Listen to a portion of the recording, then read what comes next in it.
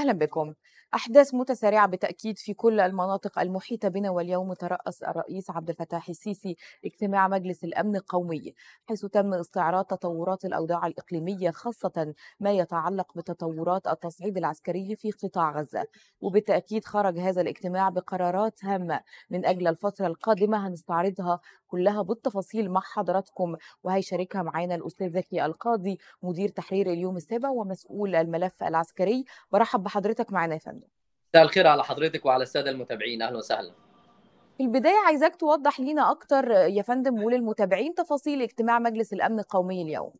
يعني خلينا نؤكد فيها البداية يعني إشارة ضمنية لابد أن يتابعها معنا السادة المشاهدين إن مجلس الأمن القومي ده أنشئ في سنة 2014 في عهد الرئيس عدلي منصور وكان بعض من مهامه الرئيسية أو جوهر القصة في مهامه الرئيسية هي متابعة الأمور الخاصة زي الأوضاع يعني اللي حصلت دلوقتي في غزة. هو بيتابع حالة البلد وبيضع استراتيجية وبيكون من عدد من المسؤولين في الدولة المصرية زي وزير الخارجيه ورئيس المخابرات العامة ووزير الداخلية وعدد من المسؤولين والتنفيذيين في الدولة المصرية عشان يضعوا الاستراتيجية. النهارده كان الاجتماع في هذا السياق وجوهر الاجتماع كان بيتحدث حوالين يعني فكرة مواصله مصر لدعمها للقضية الفلسطينية ودعم قطاع غزة. كان بعض القرارات الرئيسية اللي تحدث فيها سيادة الرئيس عبد الفتاح السيسي خلال الاجتماع وأظن إن كانت النقطة يعني اللي ممكن نقول عليها النقطة التوب اللي هي ممكن الناس يعني ياخدوا بالهم منها ويتابعوا تفاصيلها إن مصر تدعو الأطراف الإقليمية والدولية لاجتماع أو قمة في القاهرة لمتابعة ما حدث في غزة ومحاولة إيجاد حلول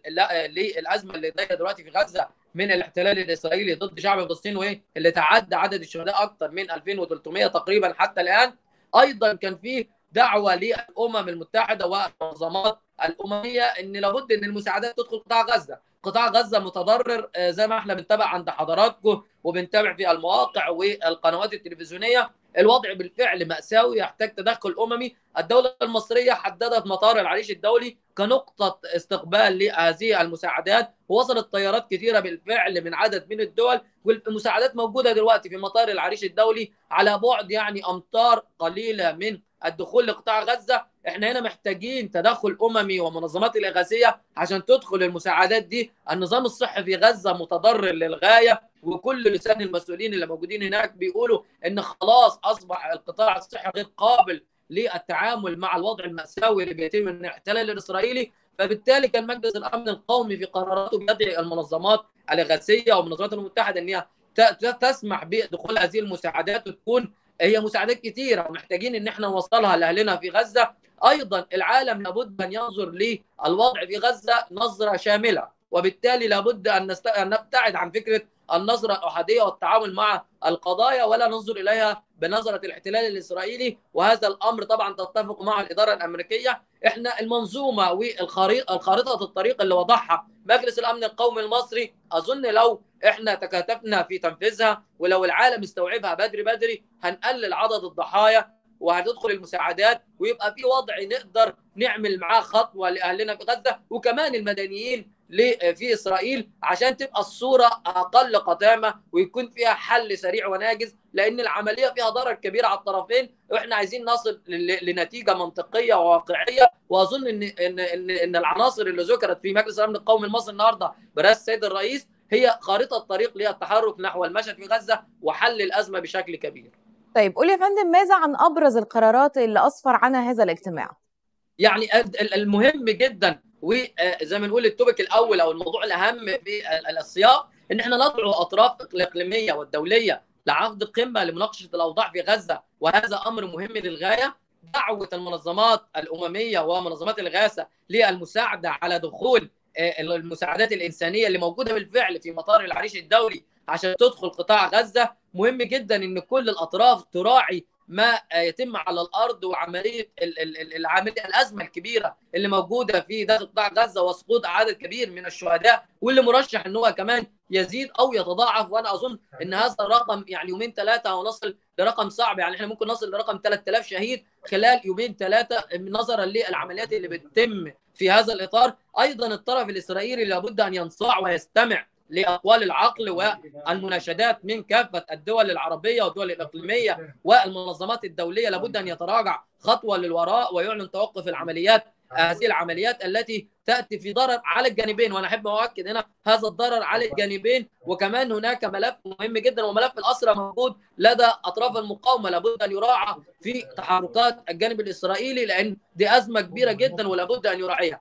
أيضا في هذا السياق وعملية المنظومة المتكاملة أو خريطه الطريق اللي بيضعها مجلس الامن القومي المصري ترتبط بسياق آخر وهو سياده الرئيس عبد الفتاح السيسي حينما تحدث في حفل تخريج الأكاديمية العسكريه قال إن ما فيش سلام بدون إجراءات أو بيبقى خاوي المعالم لابد أن يكون هناك إجراءات حقيقية. إحنا هنا بنتحرك على إنقاذ شعب وفي نفس الوقت بنطالب بشكل سليم وبشكل عادل إن إحنا نحافظ على حقوق المدنيين من الجانبين. إحنا هنا بنطبق المفهوم الإنسانية بمعناها الشامل لا ننظر للقضية نظرة أحادية. إحنا هنا بنتكلم عن قضية جوهرية تشغل العالم العالم كله دلوقتي بيتابع القضية الفلسطينية فلا بد أن يضع لها حلولا ولا بد أن يضع لها يضع لها مسارا وإجراءات حقيقية يمكن السير فيها.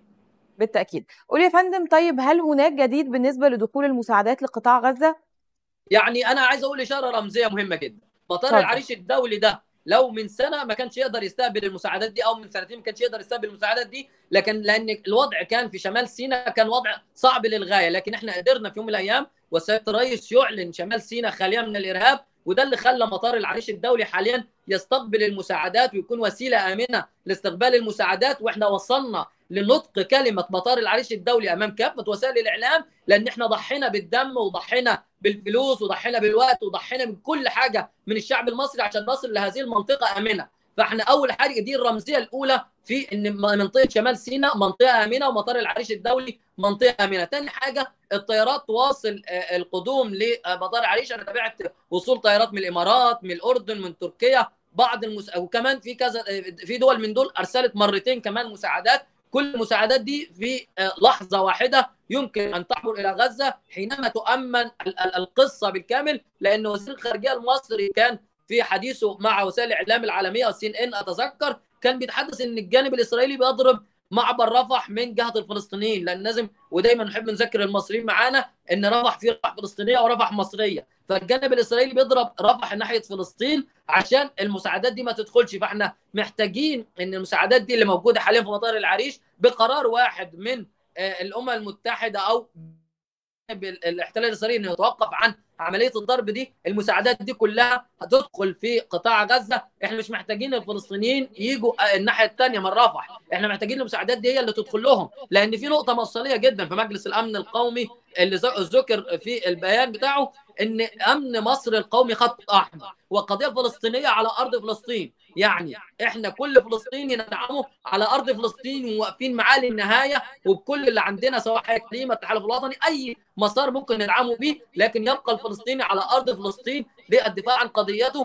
وهذا هو جزء من أمن مصر القومي. إحنا مش بنتكلم على عملية تصفية للقضية الفلسطينية زي ما عايز الاحتلال الإسرائيلي إن يفضي غزة والناس دي تبدأ تدور على أطراف أخرى تبدأ تقعد عندها. إحنا في مجلس أمن القومي المصري أكدنا على أن أمن القومي المصري خط أحمر ولا بد أن يستوعب ذلك الصديق والعدو. وإحنا بندعم الفلسطينيين لآخر نفس زي ما بيقولوا وبكل ما لدينا من مؤسسات وطنية عشان نوصل له المساعدات دي ونفضل مستمرين في ما بعد كمان ان لأن عمليه الدمار دي هتحتاج كمان عملية إعادة إعمار مكملين في القصة دي. المساعدات موجودة ونطمح إن الدول كلها تستوعب وما ينظروش للموضوع نظره احاديه ولا ياخذوا صف الاحتلال الإسرائيلي فقط. طبقا لتوجيهات الإدارة الأمريكية إحنا محتاجين بالفعل إن الكل يتكاتف عشان المساعدات دي تدخل من مطار العريش الدولي في شمال سيناء إلى مدينة رفح الفلسطينية ومنها إلى باقي مدن قطاع غزة إلى مدينة غزة وخان يونس وباقي المدن.